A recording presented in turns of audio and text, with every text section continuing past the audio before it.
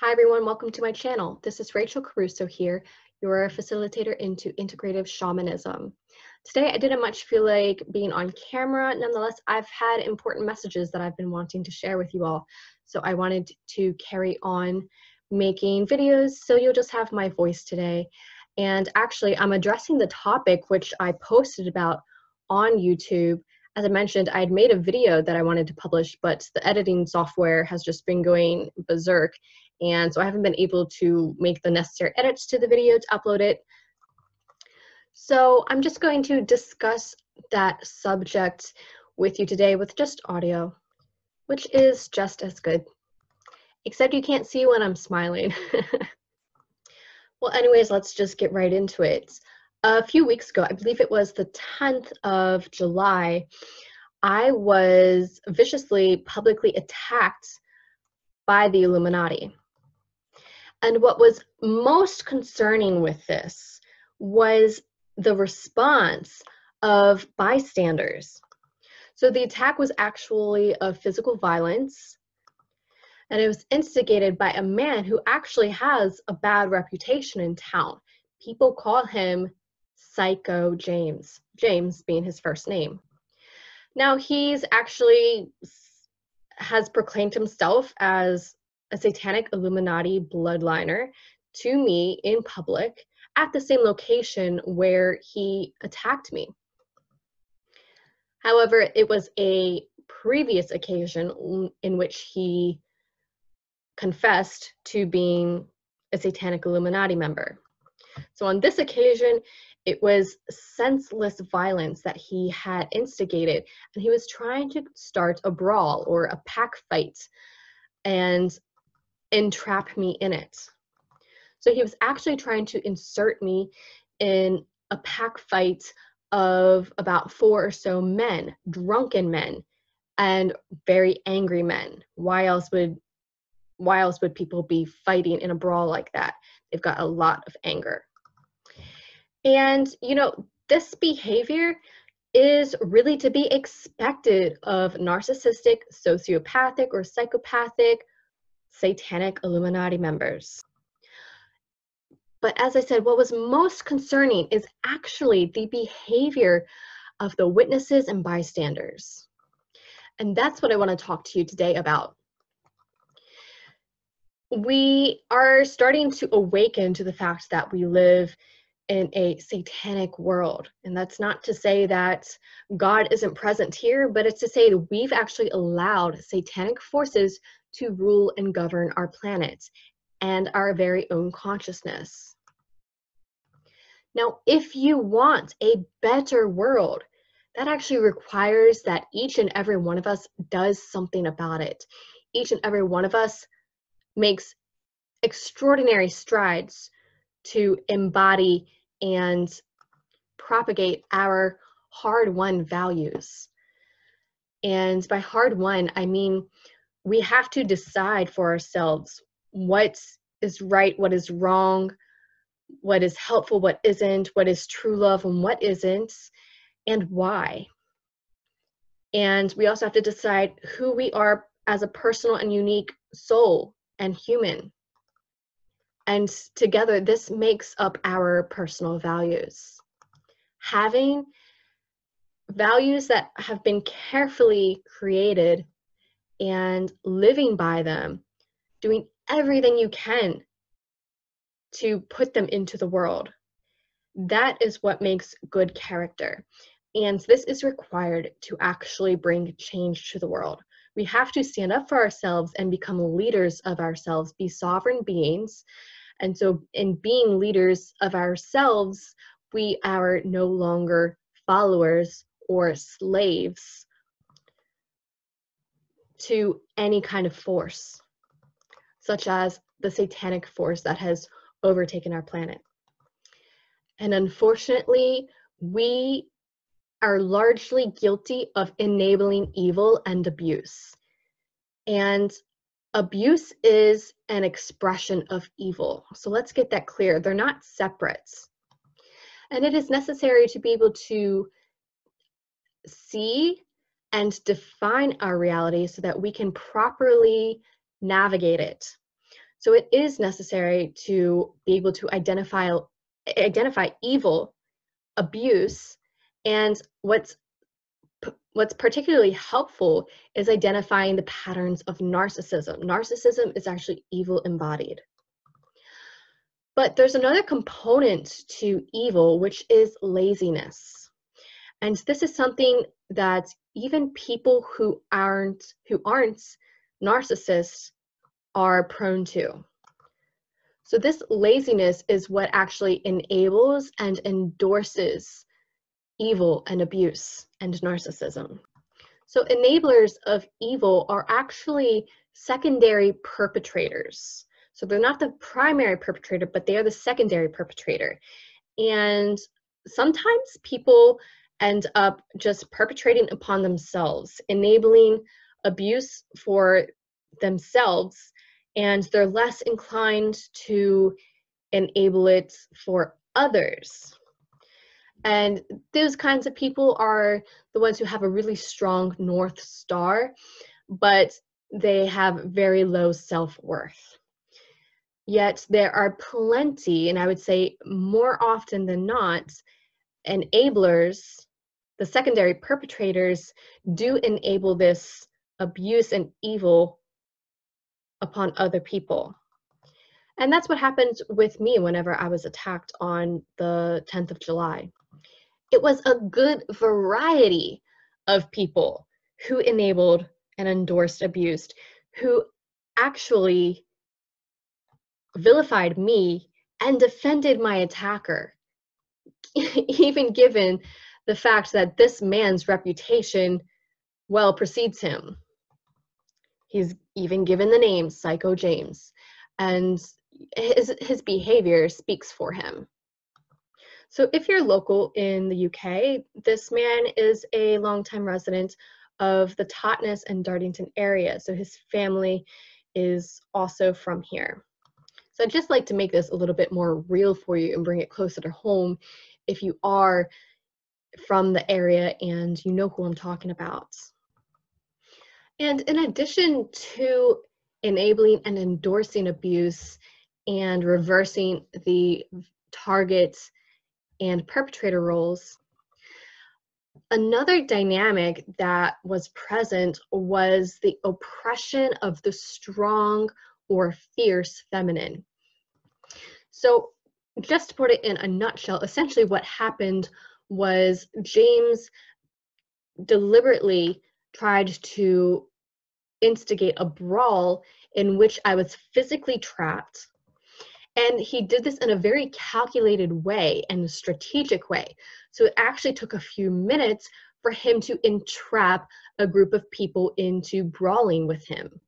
And while all of this was happening, you know, it was loud, um, there was verbal abuse, and there were other witnesses.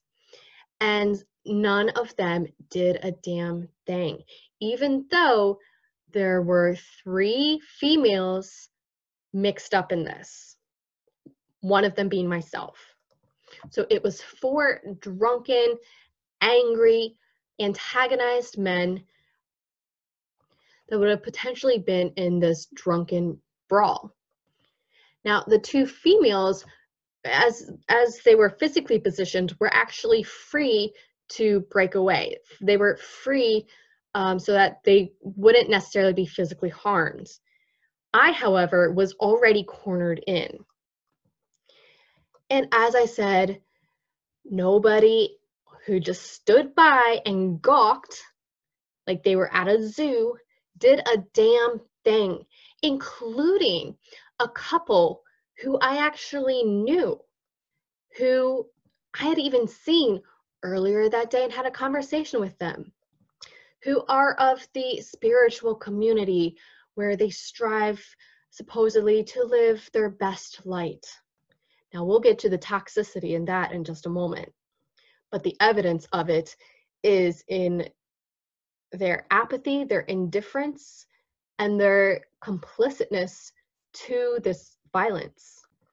So, as this situation was ramping up, because James, as I said, was strategic, strategically antagonizing and calculating everything to try to close in on me. And I'll explain a little bit more of the uh, logistics of how this all happened. But essentially, I was cornered in with a group of violent drunken men.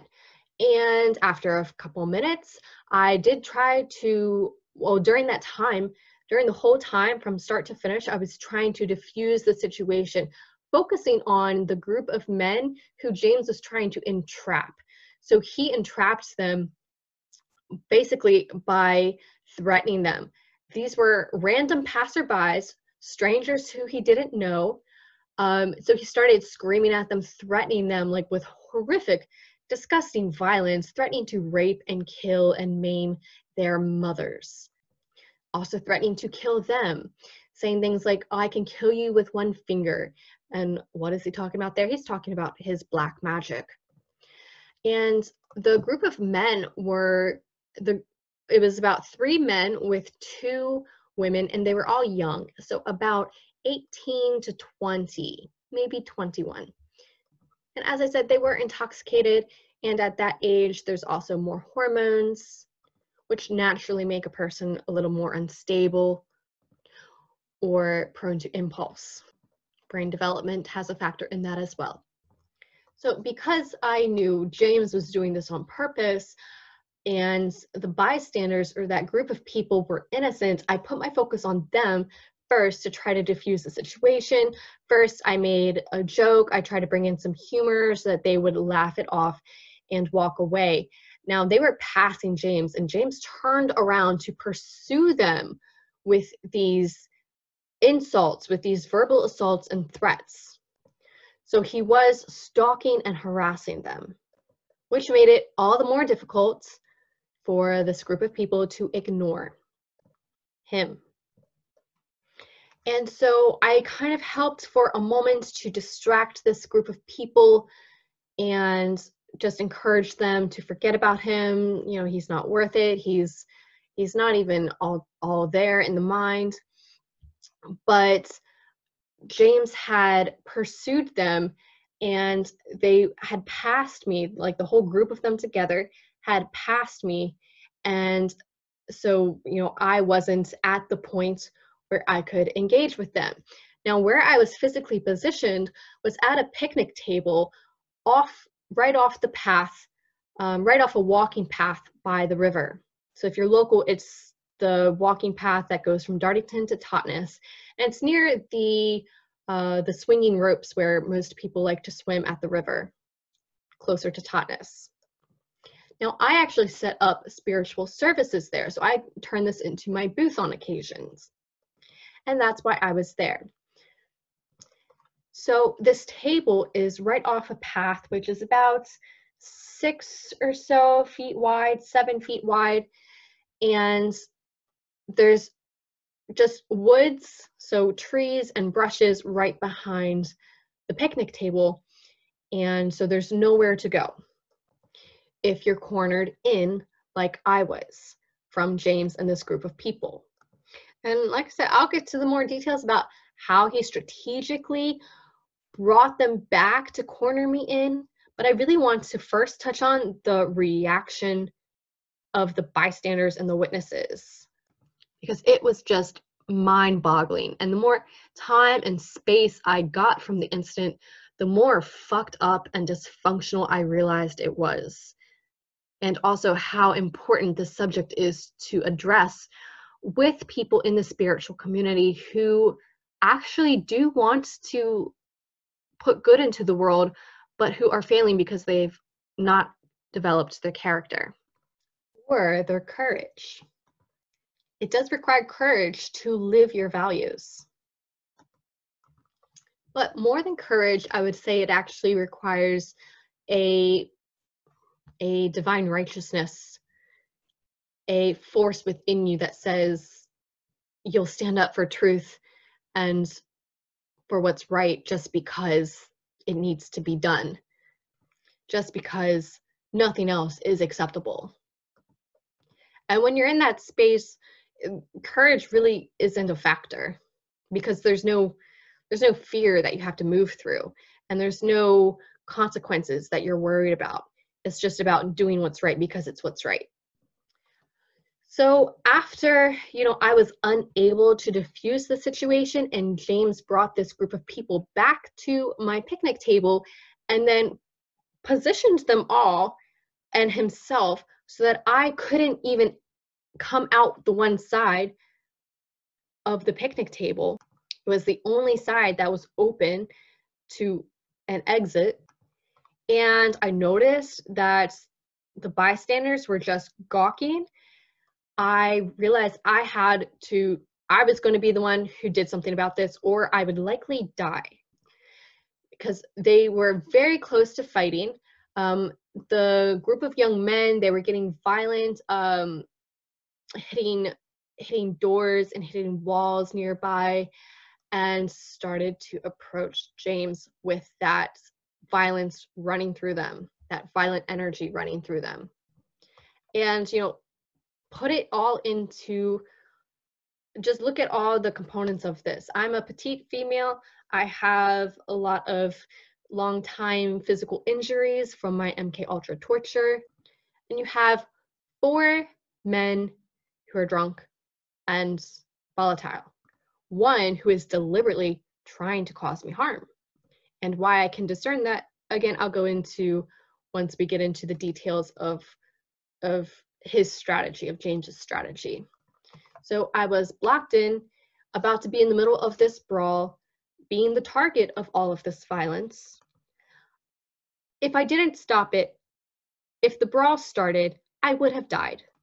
So seeing this, I was like, okay, this is time, this is the time to channel something bigger than me and also to channel my personal power.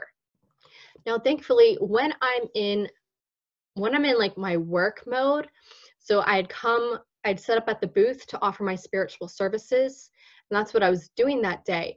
When a healer steps into steps up to the plate for their work, it's like their psychic abilities and their healing abilities just open a lot wider. And so this is the case with me every time I go to that booth. My psychic senses um, and my channels for light are just like blown wide open. So I am thankful I was already in this uh, mental and energetic space where I could sense and communicate with God very clearly, communicating with spirit very clearly. And I'm also not a stranger to dealing with usually more or rather less violent Illuminati attacks here. So I I'm always guided in how to deal with negativity here. It's never had it's never been at that level where my life is in imminent danger. But it is that that divine connection that i was consciously in that said stand up for yourself. You're the one in charge here. Step up to the plate and take charge of the situation regardless of what it looks like you know for so men uh, threatening your physical safety so again, I first focused on um, all my, you know, actions were guided. Although I could say that I wasn't really sure how it was going to play out. It was just you got to take these things step by step. So the first thing I did was address the group of of men who were being harassed, and I said, "He's he's not worth it." I got I got loud and I got firm, right? So I started to channel this strength and this authority. And that was the key thing. And I told them, you you all keep going on your path. And then I turned to James and I said, and you go the other way. And something very key when dealing with narcissists, people who won't listen to you when you need to be listened to. I mean, everyone has the right to be listened to.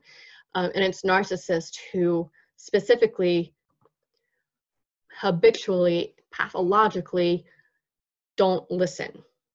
So, a key technique to use in those instances is to repeat yourself just the same words over and over at a steady pace or steady rhythm, and it will eventually force them to acknowledge something else other than what they're trying to carry on with.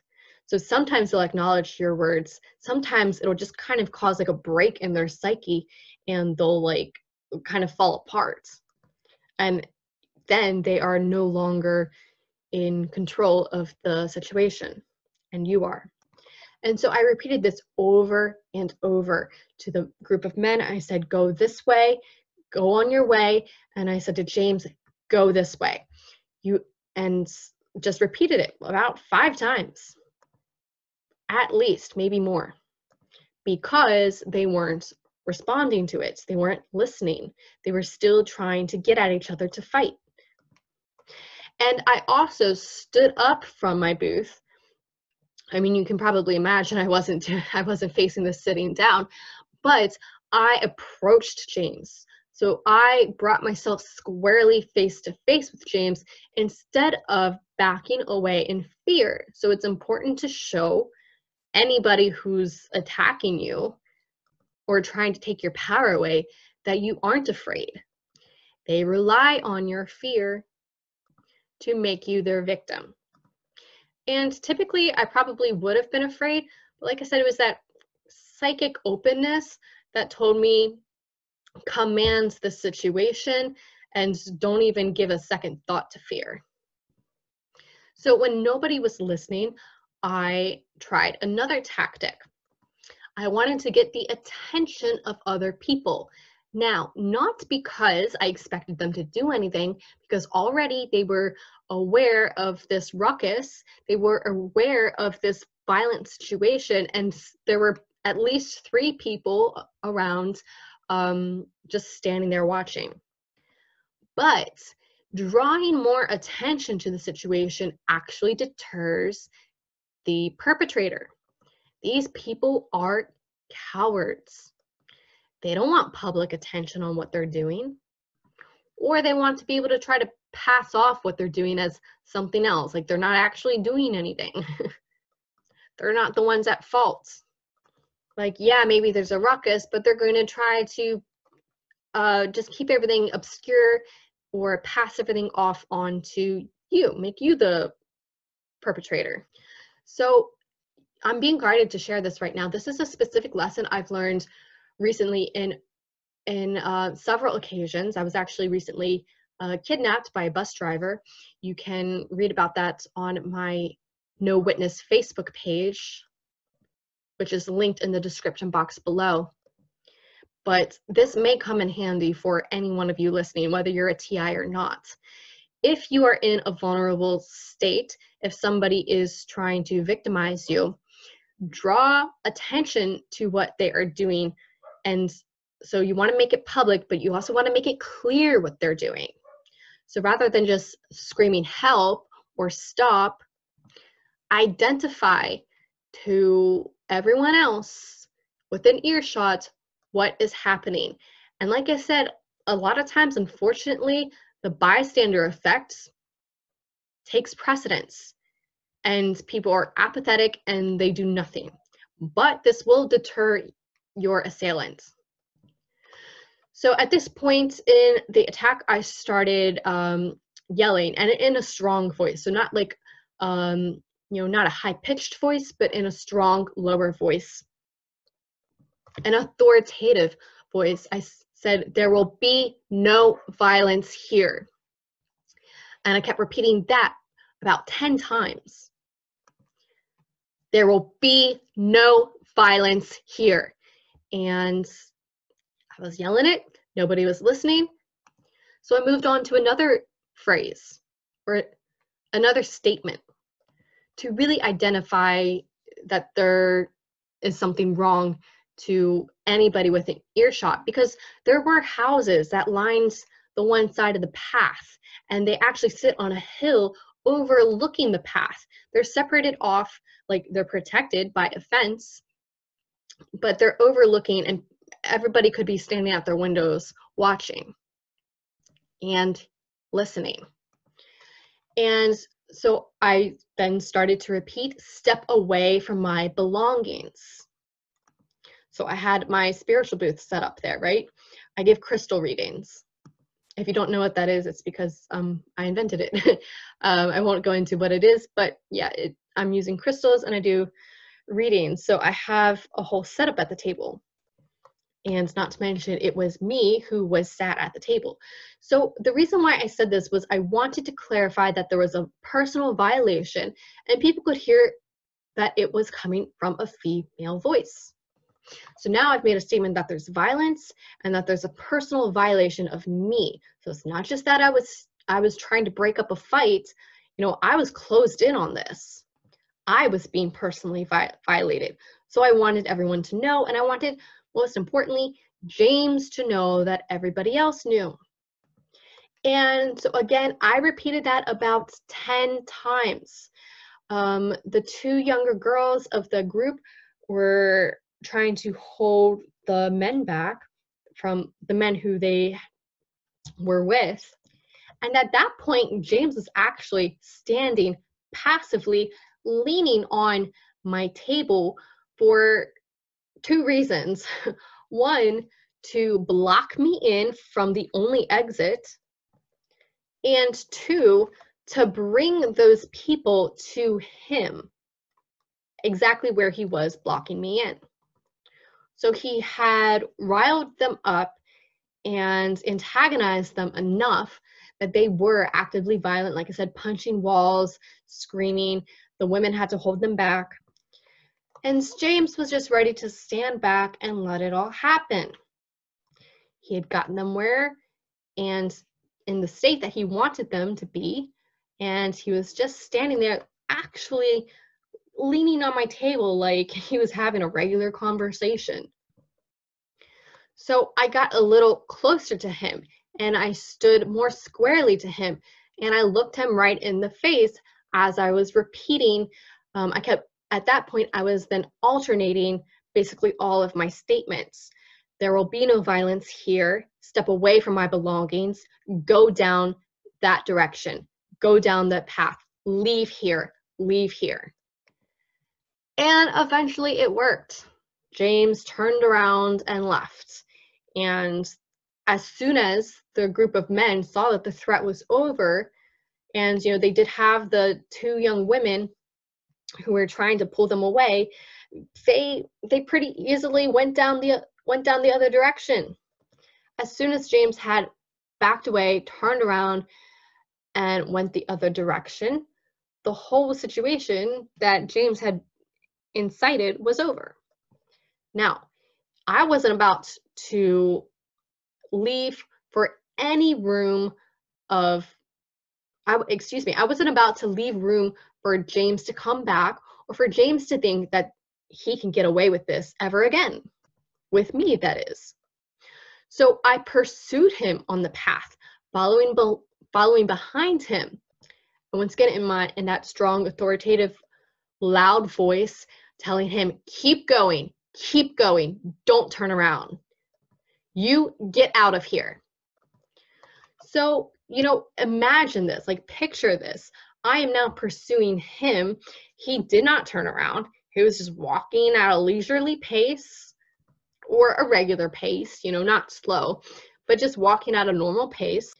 And he didn't dare turn around to even look at me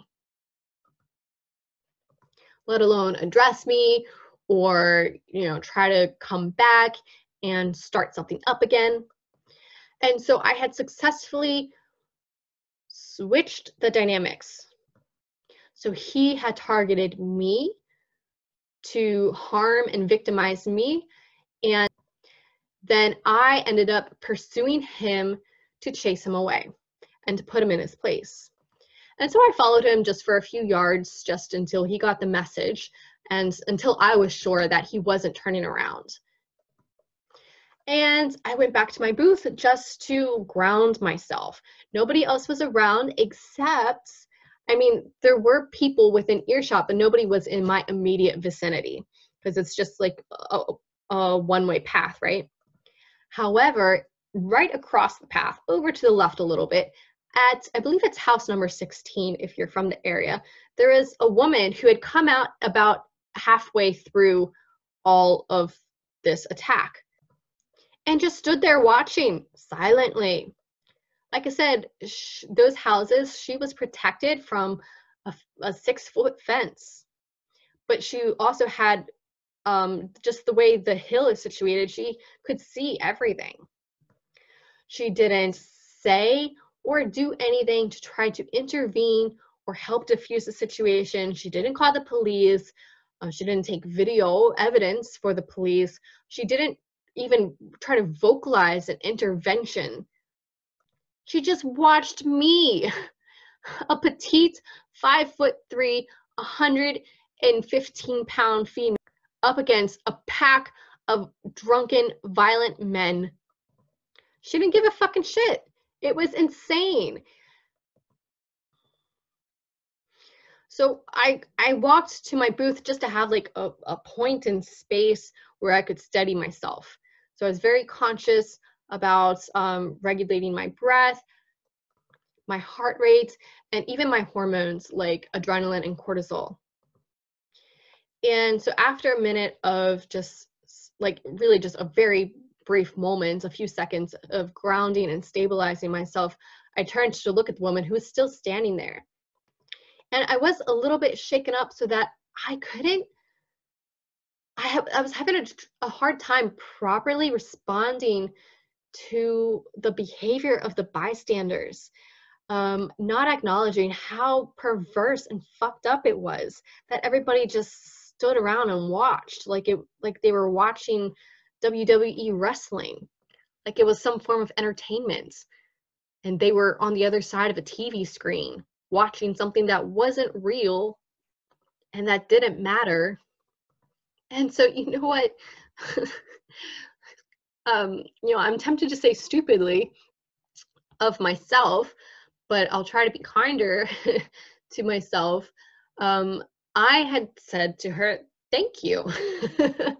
because you know I, I was still a little ungrounded and i was a little shaken up you know you got this hormones racing through you the adrenaline and cortisol when your life is in danger your your biological system will take over to put you in the fight or flight response so that you can physically get yourself out of the situation.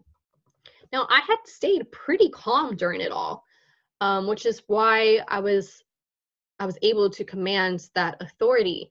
But nonetheless, there's still a bit of that biological function happening in this instance. And so that was the state that I was rebounding from when I acknowledged this woman standing right next, right at her fence, overlooking everything. Now, she didn't say a damn thing. just standing there, even after everybody else is gone, and it's just me. She's just watching me. And so I was the one to initiate uh, interaction. And I said, thank you. So in my mind, I was thinking, like, oh, I'm glad there's witnesses because that might help in some way. Even though they were the worst witnesses you could ask for, people who were entirely passive and permissive of abuse and did nothing and showed no inclination of concern or care. You know, in that kind of situation, I'm thinking about like five steps ahead. Like if the police are involved, there's witnesses and everything. It's not a guarantee that they're going to be good eyewitnesses, but um, so it, that was the thought in my mind. Um, thanking her for being a witness, but she's she wasn't actually a real witness. And her response to me was, "I couldn't do anything and you know this isn't really like the whole situation of the perverseness of the bystanders wasn't registering with me fully yet so i'm still like trying to be kind to her and i said you know i think just having witnesses around helps to deter helps to deter an assailant even though she was actually behind james so james didn't necessarily know she was there as i said James left because he didn't, because of the attention I was calling to his actions. But he didn't leave because there were witnesses. That woman was standing there for, you know, halfway through all of this. And so I guess at some point I had said to this woman, he had come and targeted me at at my booth. And like I said, there are specific reasons from his behavior, from a series of attacks from him over the past few weeks, that I can definitively say he did indeed target me, and this was strategic. And whether or not this woman can fathom the strategic nature of his attack, she gaslit me, invalidated me, and then defended James. She said, "Oh no, he didn't. He he didn't. He wasn't targeting you." Keep it in mind, she didn't see the beginning of this. So who is she to even say if she didn't see everything that happened in this instance who is she to say what what did happen? Who is she to tell me my reality is false? Me the only witness to it all is inaccurate and her delusional version of a reality that she wasn't present to. That's true. And so i i started to get a little bit firmer um, you know, I was still calm, but I started to get a little bit firmer. And I said, he absolutely did. And I described a little bit of what he was doing um, to target me in this instance. And then she comes back with, oh, he's just ha- he just has a lot of trauma. Hold up, what? That was the point where everything clicked in my head. I was like, wow, this woman is fucked up. Like this, this ain't a regular witness. This isn't a real witness. So she was actually making an excuse for and justifying James's abuse and gaslighting me. And at no point did she check on my welfare. At no point did she display concern for me. And in fact, it was when I spoke up for myself that she started to abuse me when people gaslight you, that is abuse. When people endorse abuse upon you, that is abuse. So I want to clarify something with this whole trope of uh, somebody isn't accountable for their behavior because of trauma. This is introduced mostly in the New Age cult communities and psychology cult communities. And this is a PSYOP or a mind control program, rather, that has been cooked up and introduced into the public domain by the Illuminati. But the public falls for it and starts to repeat it. And so this is something that you'll hear commonly uh, commonly used from New Age cultists and also people in the psychology profession who are cultists. Now, let's take a brief moment to break down why this is so fucked up. So, one, you are completely ignoring their chosen behavior.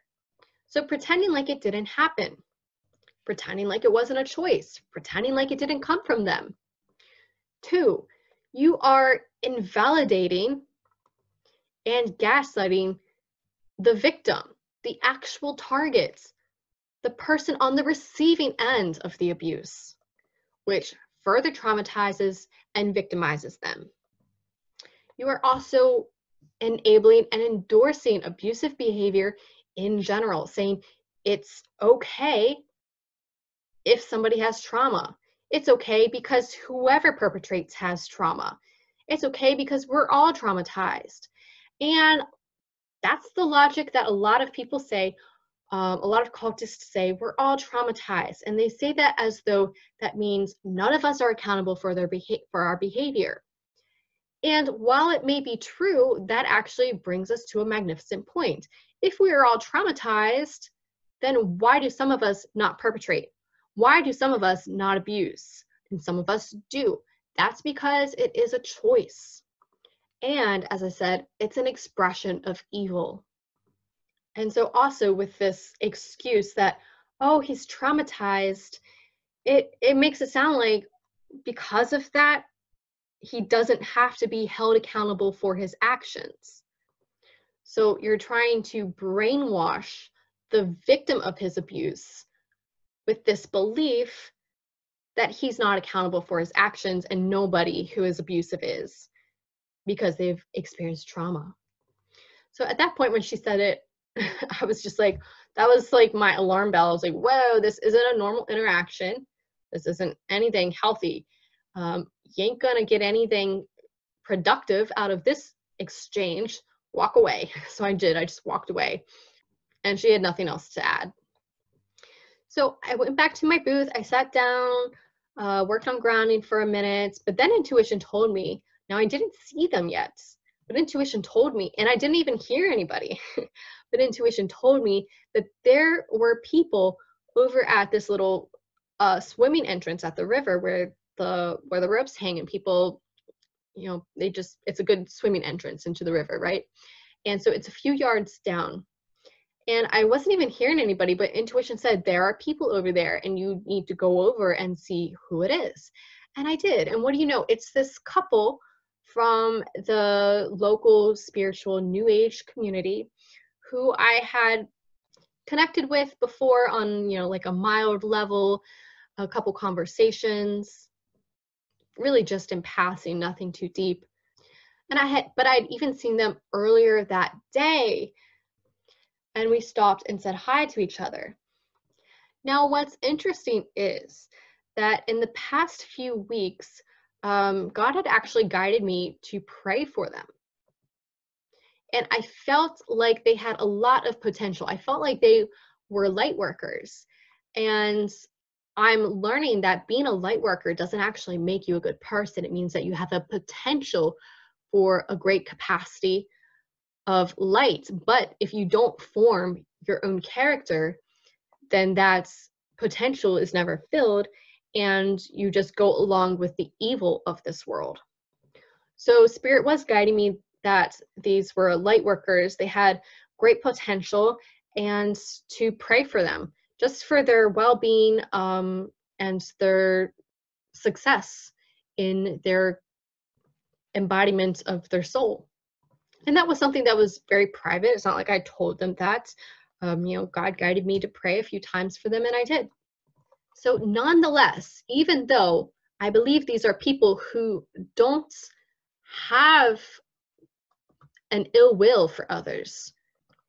They repeated the same thing as that first woman at door number 16. And they got, particularly the guy actually, got offended whenever I just laid out what happened, the reality, and I put my foot down on abuse. And you know, it didn't even dawn on me at the time that this couple would have witnessed the attack. Because as I said, I was having a hard time, uh, you know, integrating the reality that there were witnesses who stood by apathetically and, you know, what that what that meant. But they would have actually seen when James first verbally assaulted and threatened the group of people because it was actually a little bit down the path and it was right in front of where this couple was swimming. And they were actually they were they were river bathing. So it's not like they were recreationally swimming it's not like they had gone out deep and um, they weren't witnesses. They were they were actually using the river to bathe so they would have heard and even seen James antagonize and verbally assault this group of people. And then they certainly heard my female voice trying to protect myself. And at no point did they leave their little post at the river. So when I walked over there, when Spirit guided me to go check to see who was at the river, I was quite surprised. And I already had positive associations of these people, which you know didn't help me to integrate the reality that they had they were completely indifferent to the abuse and the violence. And that they knew a female was being put in a vulnerable position. So i started talking to them normally and explaining what happened as though they didn't have any sense at all what might have happened But I did specify that James had targeted me. And yet again, what do you know? They gaslit me. They said, no, he didn't. Really? so you definitely saw some part of it, but you didn't see the part where I was involved. So how can you tell me I wasn't targeted? How can you definitively state the reality of something you did not bear witness to? And if you're going to claim to know the whole reality, why didn't you intervene? Why, when I approached you, did you have no alarm about what happened? Also, they did not ask me if I was okay. Once again, showed no concern for my safety or well being. And what was interesting was the couple said that James had come into their life recently. He had approached them and said that he wanted to help them like find land for their uh, for their caravan. And they had spent uh, a couple days with him. And that each time the more he would drink throughout the day and the more intoxicated he became the more aggressive he was. And the woman had said just spending time with him just in general he was tall he was tolerable she said. She said she didn't like being around him but he was tolerable. So she spent an entire day with someone who she didn't like tolerating them for what? And then when he got aggressive throughout the day with the alcohol and let's just pause to say intoxication drugs, alcohol, none of it is ever an excuse for abuse or evil. She said that eventually it was hard for her to actually tell him that he needed to leave. So this indicates, you know, really poor boundaries and enabling and being permissive to abuse and evil. You know, not even discerning who you spend hours of your time with and let into your personal life. And they were the ones who told me that he actually has the nickname around town of Psycho James and that they've seen some of that psychotic behavior. Now, what it actually is, it's not, you know, if you're really talking about, about it in psychological terms, it's not psychosis, it's not psychotic, it's narcissistic and sociopathic. And so this couple also told me that James started to kind of turn on them. And they were so surprised because at first he had been so nice to them, so welcoming, uh, wanting to help them so much. And I said, that's that's very characteristic of of a narcissist. They love bomb you but eventually the mask will fall, especially the more boundaries you put in place. The mask will fall and you'll see their true nature. I said there's always a turning point with narcissists, you know, when they turn on you. And the guy really did not like the fact that I was defining the reality. He said, um, I also told them that James said he is a Satanist. And he said, Oh, but he's not these labels. So it's acting as though I had imposed these stereotypes upon some innocent man that I had falsely identified him as something. You know, that's what it is when you're labeling someone. You're lumping them in with a stereotype. So that's very different from identifying reality based on facts. Not to mention, Satanist was James's own way to identify himself. That's what he said about himself. And I was just passing along the message. Um, but the man was was very clear. Um, he was very passive aggressive. So it was clear he was angry and upset, but he was very passive in it because as a spiritual person, he needed to appear as a person of love and light. And of course, this is false love and light. So there's a really big issue in the spiritual community, which I want to address with you, which is that passivity is love. Hell no, it ain't. Truth is love. Honoring yourself is love. Honoring God is love. And you must know yourself in God to be able to honor both. Once again, that comes that comes in with identifying your values, really forming your values, what's important, what's real, and why, and then executing or embodying those values, which forges your character. So, light isn't passive, it is assertive. It must assert itself. If it is passive, it's actually subjected to the will of whatever is around it.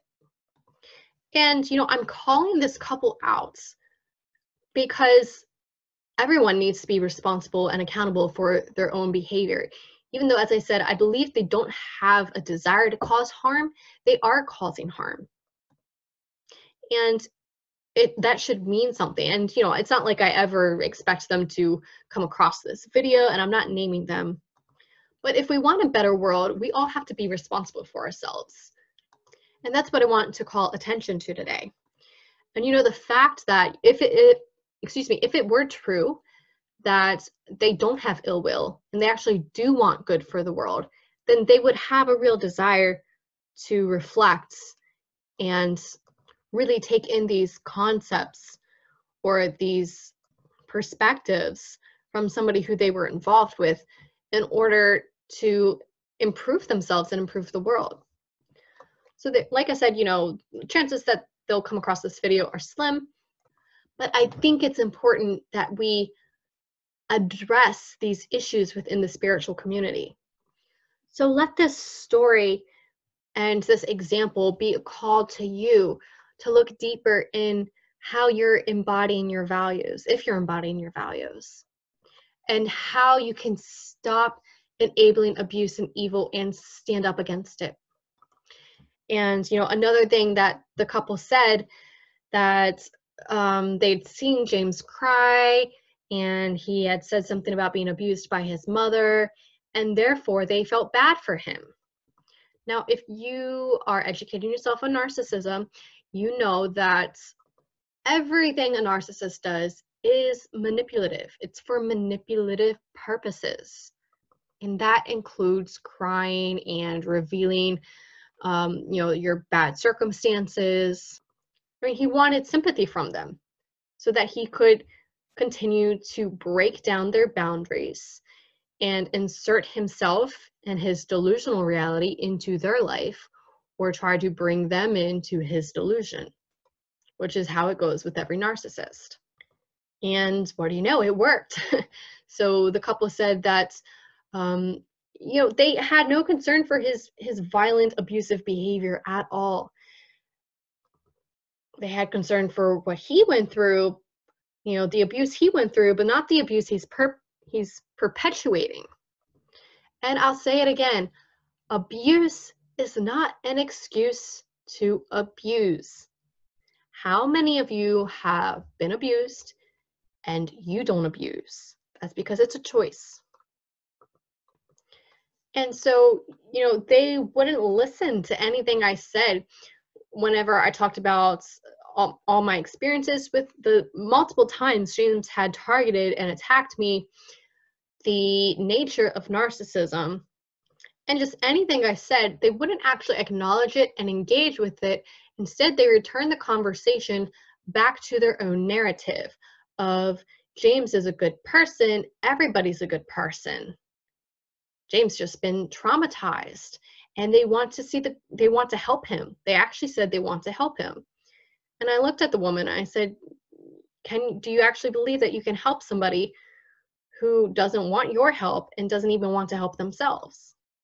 and this was something hard for her to accept. It was like the only part that was acknowledged from what i said. And it was only acknowledged by her. The man was very resistant to to everything that i was putting into the space so it was a, it was a one-sided conversation which isn't a real conversation they would just you know they weren't engaging with what i was saying just returning the conversation back to their narrative and I recognize that, you know, if there was any potential for these people to open up to a whole new way of thinking, that um, I it would need to be in an atmosphere of calm.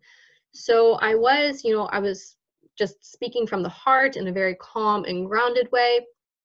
And I was actually giving them the chance to speak, and I was listening to them and addressing what they were saying, even though they weren't doing the same with me. And so, you know, the the man wrapped it up by saying he's a person first. He's not labels. He's a person just like you and me. Now, what's interesting about this is the man was actually labeling me as a labeler. Remember, as I said, labeling is about lumping someone in with a stereotype, and it's not based on facts and evidence.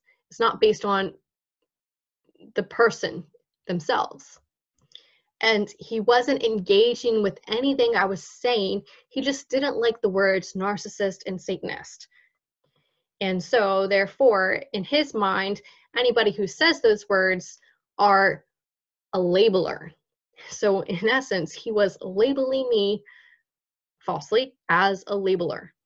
He was lumping me in with this stereotype that he had built up in his own mind about people who speak on these subjects. And there's something interesting about that statement. He's a person just like you and me. Now, you can look at this in two different ways. If he's a person, well, first of all, first of all, let's look at no, he's not a person just like you and me, because we don't go around abusing people. We are not evil. We are not narcissists. We operate from the paradigm of love, not abuse, not malevolence, not ill will, not manipulation. Our souls aren't corrupted by the narcissism.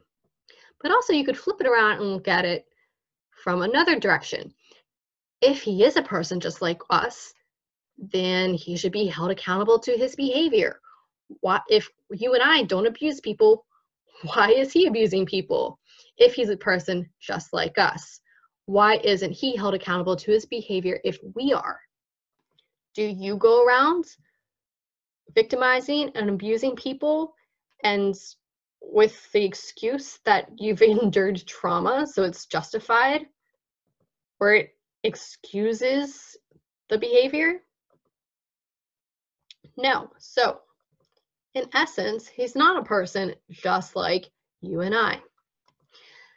And, you know, at one point I was able to have a conversation with just the woman alone when somebody else came down the path and and the guy was talking to him and she was talking about how she was starting to learn the lesson of boundaries. And she was describing some of the situations. And so it was clear that this is a new concept to her. And i really just encouraged the boundaries and helped to validate you know their purpose why they're useful how to execute them in a really just personal conversational way. So not like an analytical way just a just a personal way and i said there's actually a theme in the conscious in the collective consciousness right now. So i'll share that with you all. And that theme is the rise of the fierce or strong feminine. And so i started to encourage that in her too. I said you know femininity we are often conditioned means being passive. Um, but like what happens right there when I was attacked by James, he was standing right next to me and I had to stand up to him. And channel my personal power in order to save myself. I said I was channeling the strong feminine. And she was actually receptive to me. Um, you know, she was she was more receptive to me throughout the whole conversation than the man. Um, and so when we actually parted ways, uh, we exchanged hugs. The woman initiated hugs and she actually gave me a hug whenever I said I was um, channeling fierce feminine. And she was like, good for you. And she asked me if I wanted a hug and she offered one and it was a real hug. And then when we parted ways, we hugged again. And she initiated it again. And the man who I've received hugs from before, so I know that he's a conscious hugger. I know that he likes to hug, you know, in general. And he does so deliberately. It's a real embrace it's meant to be like a heart connection like all of this all of these are components of a hug for him. I already know this. But this time his hug was completely different. It was very clear that he was withdrawing from me um, from this passive anger. So he it was just like an arms hug right? So he actually kept his heart space way away from mine. And he was just going through the motions to appear to be polite, to keep up this image of light and love, even though clearly he wasn't feeling it. He wasn't feeling loving towards me. No, he was saving that love for my abuser. um, that's not real love either, but just to point out the irony for you. And, you know, as an empath, it was very clear that he, and really anybody can pick up on these things, that he was withdrawing his energy from me the whole time, not just in the hug, but the whole interaction. I would say it was the uh, nuanced skill of an empath, which allowed me to recognize that he was angry. He was angry at me, but he wasn't showing it. And so everything he was saying was um, to keep up this image of how spiritually aware he is, of how unconditionally loving he is, where it was extremely hypocritical because he wasn't loving right in the moments in the here and now with me as i said you know gaslighting me and defending my abuser refusing to listen to me or engage with me just because he didn't like what i was saying even though i had valid points based on facts and reality and so that is to say,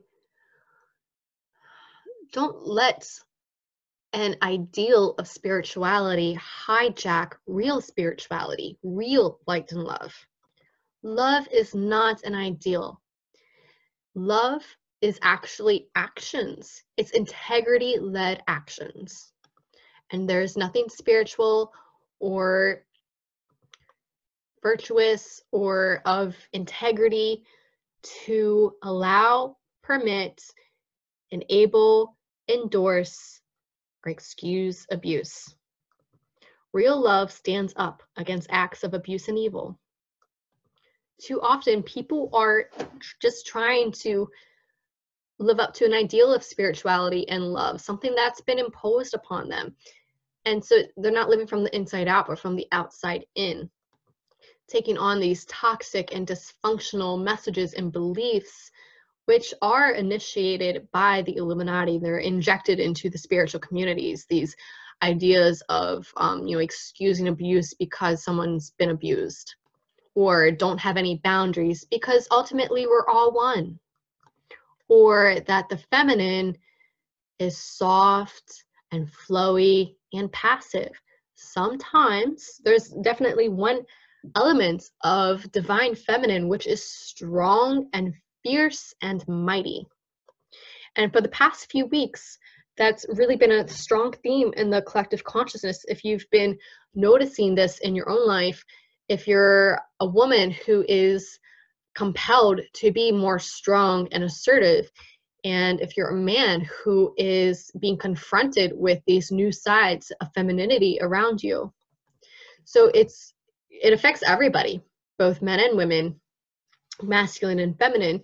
It is the masculine's job to hold space for this fierce feminine, to support it, to and by support it, I don't just mean um, allow for it, but to actually contribute to it, to help it, to be stronger.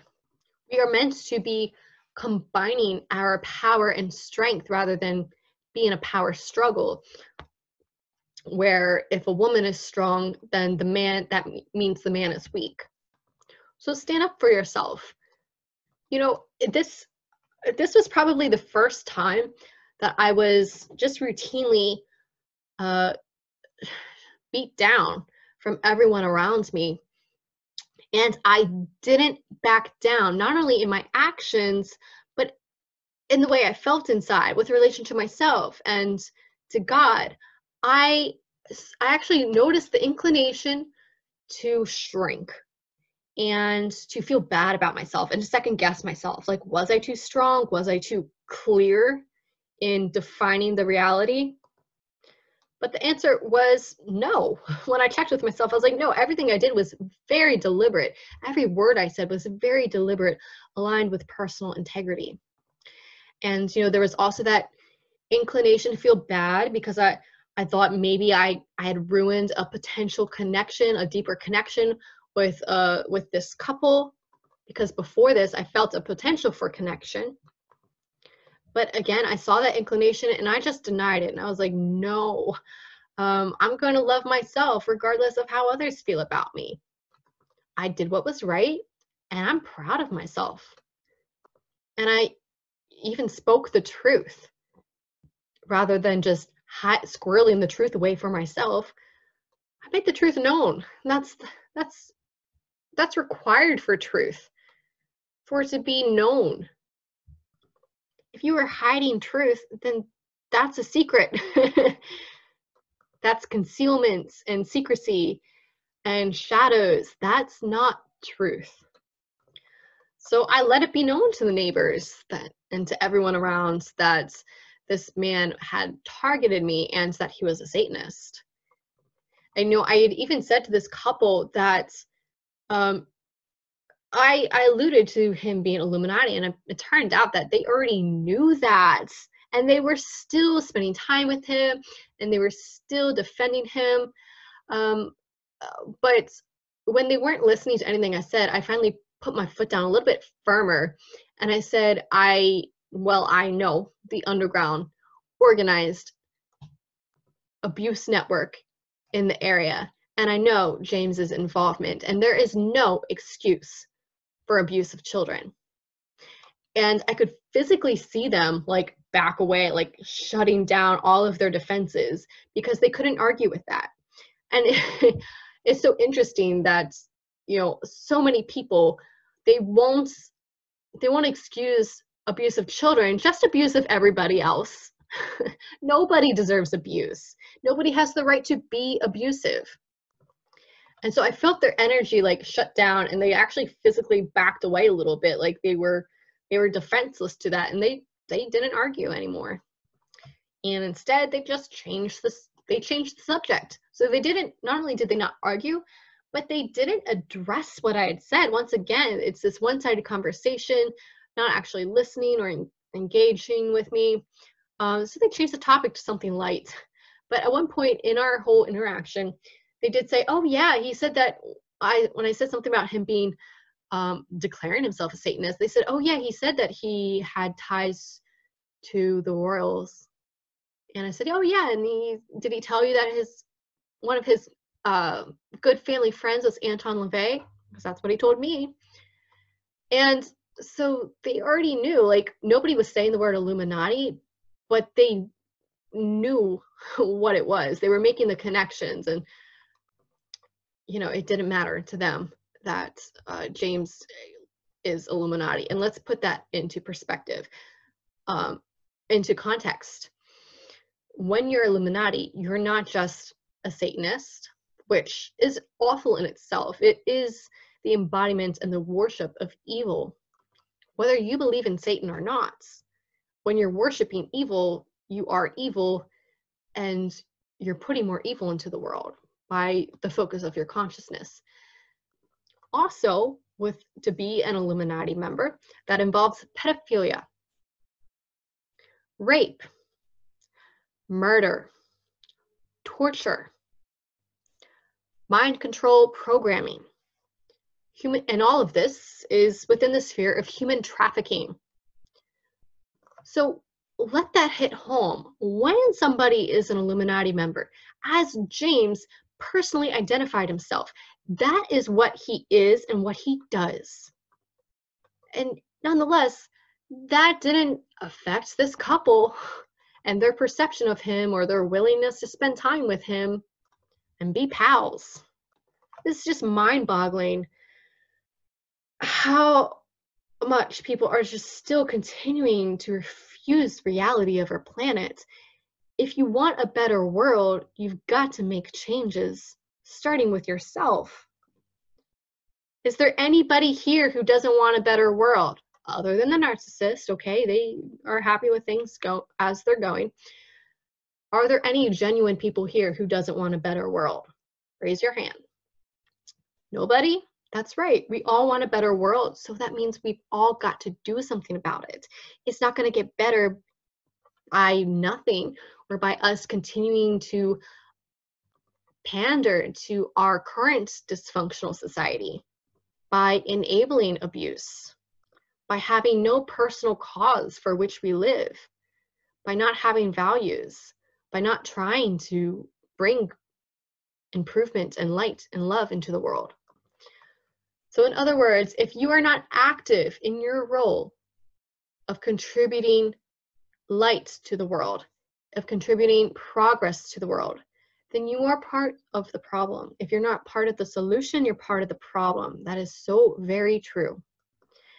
And look, everyone's on their own path, and you know, some people might be in circumstances of victimization and suffering that are just beyond their control, you know, such as victims of MK Ultra who are still enslaved to it, or who are actually when you're breaking out of it is as you start to break out of it is when it grips you the most. And so your focus might be um, to heal and help yourself, and that is your contribution to the world. But don't let that, don't let your need to help yourself and to put so much focus on yourself, don't let that shut out the possibility for bringing light to others. But also know that, you know, as taking care of yourself, self love, that is love into the world. But once your cup is full with your own love, then it overflows. And that overflow is what you give to the world. But we off we overlook so many opportunities that we are, all personally able to stand up for truth and for love, no matter your circumstances. So I'd like to ask you to take some time to consider where you can contribute light and love from more integrity, where you can contribute or how you can contribute to the improvement of our world? What are some opportunities that maybe you missed in the past to stand up for what's right?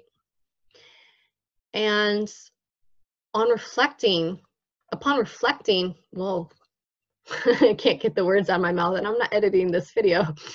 Let me rephrase that. When you reflect on those missed opportunities, let that be an opportunity to figure out how you can do better in the future. What's a better way that you could have handled that? And prepare yourself for such circumstances in the future, or just recalibrate how you carry yourself through the world based on that missed opportunity, what you could have done or should have done maybe a little better. So listen, this was a longer video, so I'm not actually going to go into the details of how James targeted me and his strategy for targeting me, not only in this instance, but with previous incidents as well. And so it was all connected and tied together as it is with uh, targeted individual abuse, especially coming from somebody who is self proclaimed Illuminati. Um, but you know, I don't need to go into I think it, it might be a little bit helpful for people to understand the tactics that the Illuminati use, but um, you know maybe in a different video. But I don't feel like I need to explain it in order to prove that he was targeting me. The point is, um, you know, and whether you can say that's just my perception or not, the point is everyone's behavior and res- everyone's response to me was just not right to gaslight me, invalidate me, and then defend my abuser, none of that is okay. Regardless of if I provide, uh, you know, a specific account or evidence of the way he targeted me. So I'll wrap it up there, everybody. Thank you for tuning in and for reconnecting with me. It's been an interesting time for me. The past couple weeks have actually been like a little bit of a paradise inside a war because you know there's always that spiritual warfare. But in many ways i got a break in the past couple weeks and i am just trying my best to enjoy it without worrying about what's going to happen if or when it leaves. Um, so that's what's been going on with me the past few weeks. Um, last week there was an incident where i was kidnapped.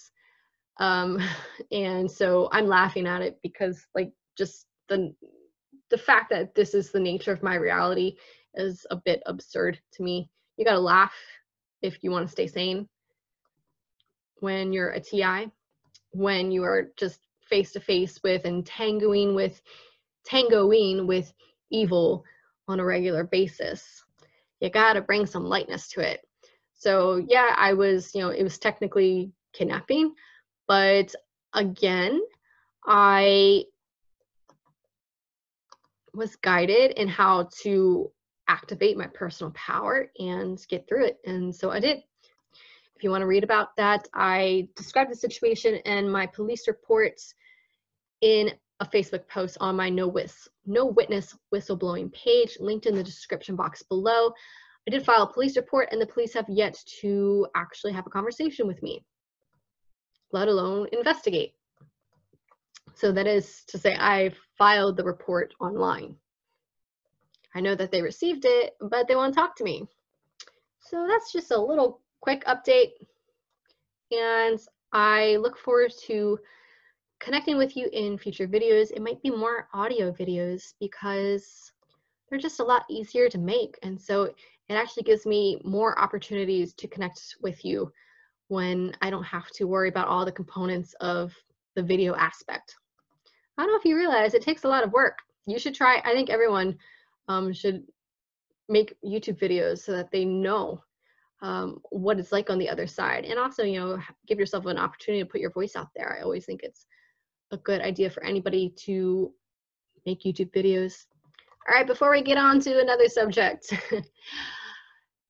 I will see you in the next video. Peace and namaste.